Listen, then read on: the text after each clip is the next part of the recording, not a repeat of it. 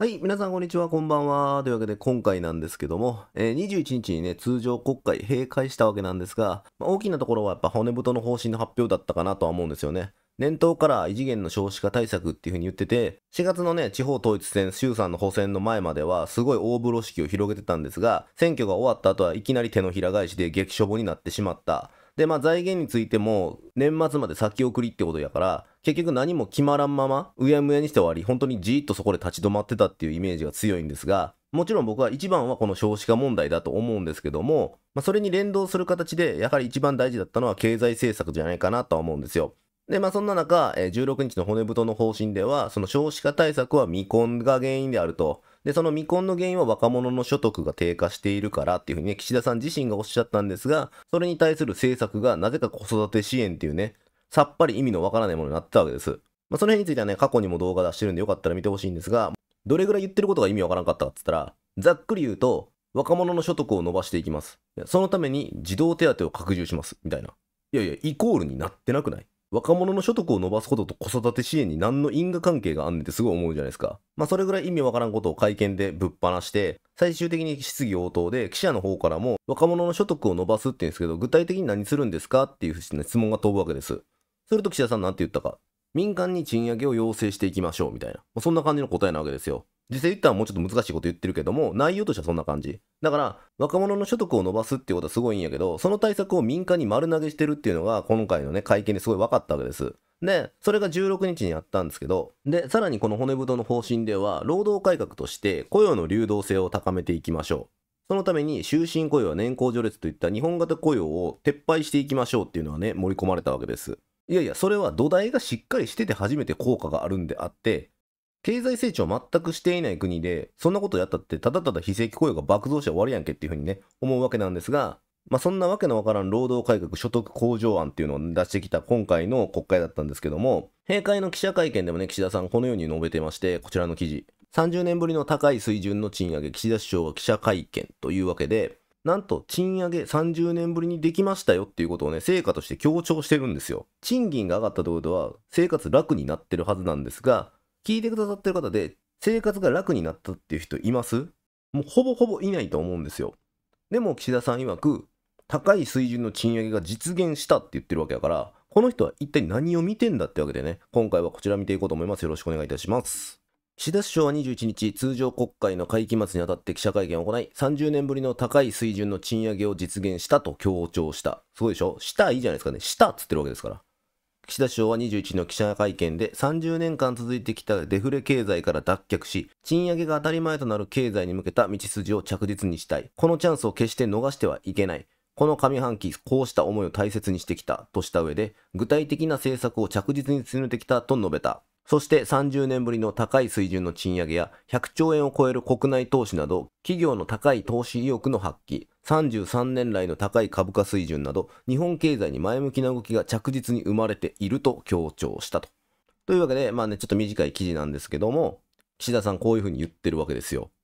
先ほども言いましたが、実感として賃金上がったなって思う人ってほぼいないと思うんですよね。もうその理由は、それ以上に税金や社会保険料が増えているから。ここでは一応さ、具体的な政策を着実に進めてきたっていうけども、具体的な政策って何かありましたっけ？骨太の方針の記者会見でも、若者の所得に対して何かするって言ったら、それは全部民間に丸投げしてるわけですから、政策なんて売ってないと思うんですよね。むしろ景気が悪い、経済成長もしていない中で、企業に対して強制的な賃上げを要求すると、完全に破綻してしまうわけですよ。で、さらにこれ30年ぶりの高い水準の賃上げを実現したっていうふうに言ってるわけですが、それっていくらなのっていう話なんですけど、別の記事があるんですけども、ここですね。最低賃金毎年夏を目安に額を示す。22年度には31円の引き上げが行われた。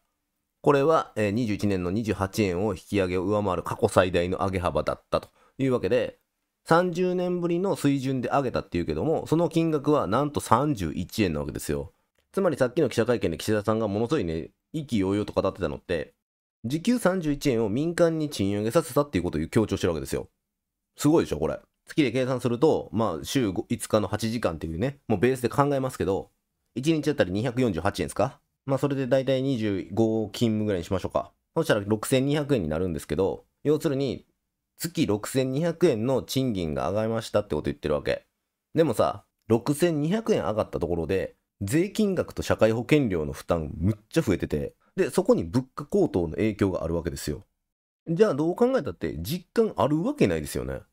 ちなみに岸田さん会見で賃上げが当たり前となる経済に向けた道筋っていうふうに言ってるんですが、じゃあ今後の展開どう考えてるかって続きですよね。23年に時給1000円を達成するためにさらにこれを上回る39円の引き上げが必要となるということで時給39円をまた民間に賃上げさせますわっていうことを言ってるわけですで言うても少子化の原因を若い世代の所得の低下っていうふうに言ってるわけだからそのための政策っていうのがまあこれだと思うんですけども政府が具体的にやることは何一つないんですよねむしろこっからつまんでいくばっかりだからどうなってるかって言ったら厚生労働省の発表した、え、3月の統計調査によると物価上昇を加味した実質賃金が前年に比べ2.9%減少していますと。みんなの手取り可処分所得は減ってるっていうデータが出てるわけですよ。厚労省の発表曰く物価の上昇率に追いついてないっていうふうに言ってるわけですよ。まあ、実際はその国民負担を重くしすぎてるからっていうことなんですが、100歩って厚労省のこの発表を見ても、結局のところは、賃上げしたって間に合ってませんよっていうのは政府サイドの発表でもなってるわけやんか。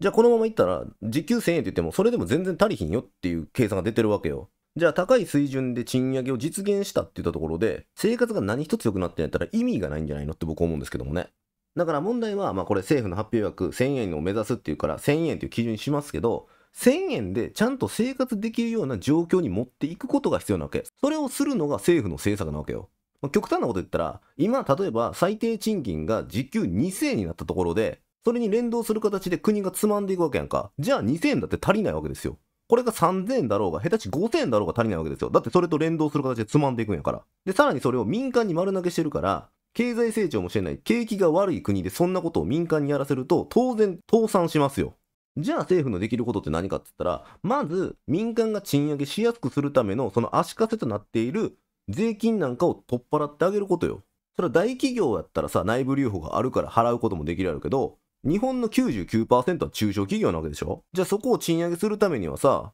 首締まってる税金取っ払ってあげんかったらできるわけがないやん。そしてもう一つ、今のこの昨今の物価高っていうことを考えたら、一体最賃はいくらにならないと普通の生活送れないんだっていうこと。要は1000円っていうふうにこだわってるけども、1000円で足りひんやったら1000円にしたところで意味がないわけよ。さっきも言ったけど、今の政府の取り方やったら、時給が2000円だろうが3000円だろうが、生活は楽にならないと思うんですよね。むしろ実質賃金を下手し下がる可能性すらあるわけよ。じゃあ何が必要かって、時給1000円にするんやったら1000円でちゃんとした生活ができるような経済の状況に持っていく政策を打てっていうこと。ね、そう思いません？時給3000円でも生活が苦しい社会か、時給1000円でも生活が楽な社会だったらどっちがいいですか？だから、その金額にこだわるっていうよりも、国民がちゃんと生活できているかできてないかの方が重要なわけよ。で、そのちゃんと生活ができてますよっていう基準が最低賃金としてなかったら、何年経とうが何も変わらないと思うんですけどもね。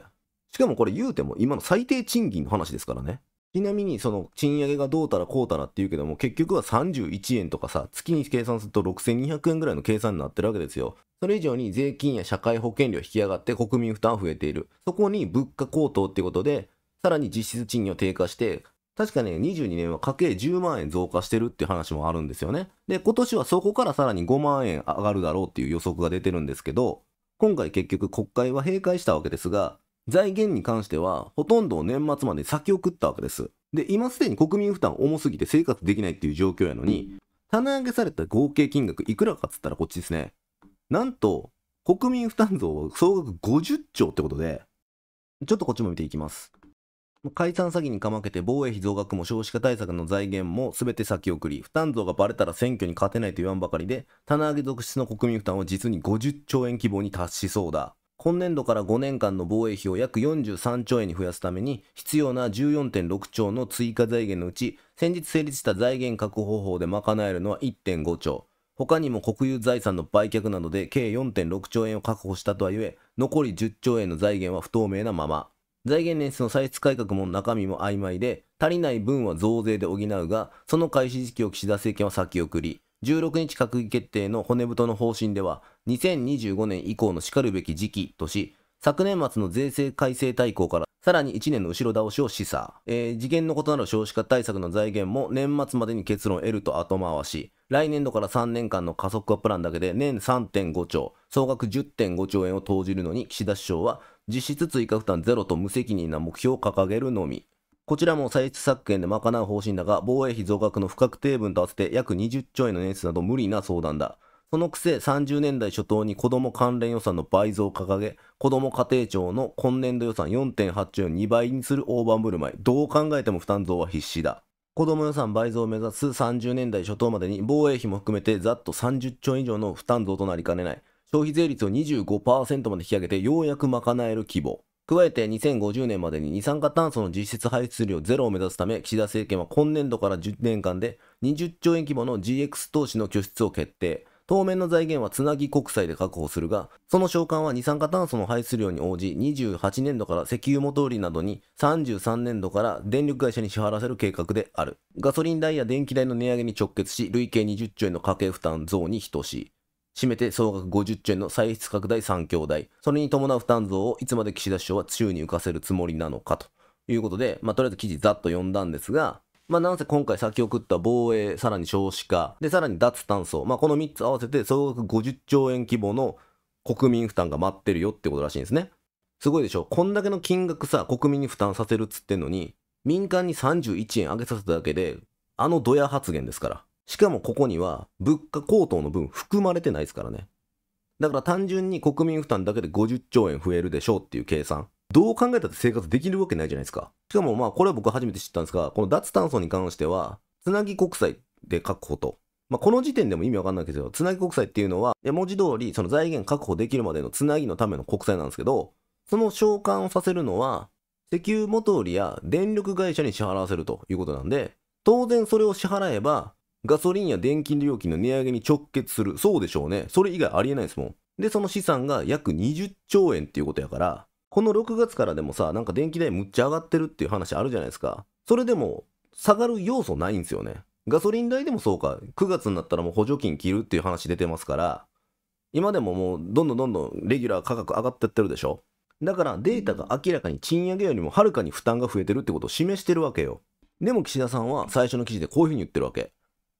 30年ぶりの高い水準の賃上げを実現したと強調しました。日本の99%は中小企業で、今見てもらったデータだけでも全然国民負担は増えそうである。実質賃金はマイナス。さらに先送った国民負担が約50兆もあんのに、ここまででかい顔して賃上げ実現しました。賃上げが当たり前となる経済に向けた道筋を着実にしたいとか言ってるんやったら、この人が見てるとこって、日本っていう国じゃなくて、今条件に当てはまらなかった人99%以外の人なんですよ。まあ、実際に言ったら99.7%やったかならしいんですけど、つまりこの人はその残りの0.3%しか見てないってこと。そしてその0.3%の実績をここまで強調してるんだなっていうふうにすごい思いますね。はい。だからね、とりあえずね、賃上げが当たり前となる経済にしたいんやったら、まず政府の出している最低賃金1000円、それでちゃんとした生活ができるっていう水準にまで、社会や経済を戻してくれたらいいんですよ。そすれば勝手に賃上げが当たり前となる経済になるわけやから、もちろんそれはその経済の状況、社会の問題やねんけど、今は物価高、それもコストプッシュってことを考えれば、